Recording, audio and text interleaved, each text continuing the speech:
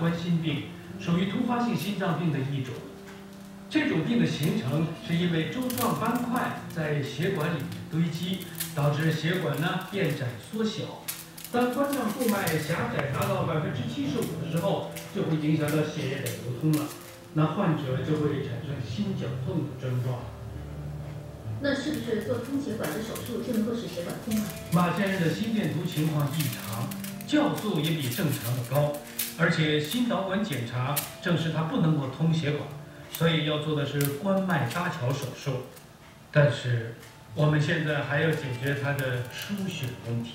通常在搭桥手术过程中需要输一千六百 cc 的血，合格的血型是 para 苯 A 型，这种血型不是很普遍。我们查过，血库的储存量不是很够，需要亲人捐血才能够进行。